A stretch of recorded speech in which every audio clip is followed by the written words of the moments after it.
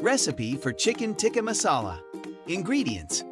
500 grams boneless chicken cut into bite sized pieces, 1 cup plain yogurt, 2 tablespoons lemon juice, 2 tablespoons vegetable oil, 1 large onion, finely chopped, 2 cloves of garlic, minced, 1 tablespoon grated ginger, 2 teaspoons ground cumin, 2 teaspoons ground coriander, 1 teaspoon turmeric powder, 1 teaspoon paprika, 1 teaspoon garam masala, 1 teaspoon chili powder, adjust according to your spice preference, 1 cup tomato puree, 1 cup heavy cream, salt to taste, fresh cilantro, coriander, leaves for garnish. Instructions. In a bowl, mix together the yogurt, lemon juice, 1 teaspoon, cumin, 1 teaspoon coriander, turmeric powder, paprika, and salt. Add the chicken pieces and coat them well with the marinade. Let it marinate for at least 30 minutes, or you can refrigerate it overnight for better flavor. Preheat your grill or broiler.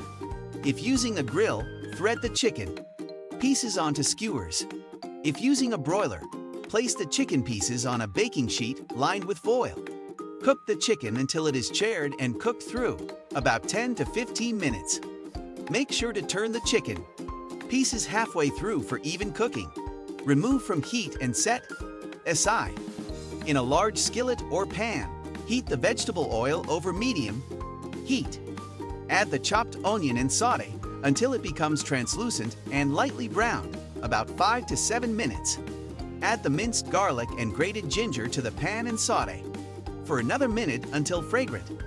Then add the remaining cumin, coriander, garam masala, and chili powder. Cook the spices for a minute to release their flavors. Pour in the tomato puree and cook for a few minutes until the mixture thickens slightly. Reduce the heat to low and stir in the heavy cream. Simmer the sauce for 5 to 10 minutes, stirring occasionally, until it thickens to your desired consistency. Add the grilled chicken pieces to the sauce and simmer for an additional 5 minutes to allow the flavors to blend. If the sauce appears too thick, you can add a little water to thin it out. Taste the sauce and adjust the seasoning with salt if needed. Garnish with fresh cilantro leaves and serve the chicken tikka. Masala hot with steamed rice or naan bread.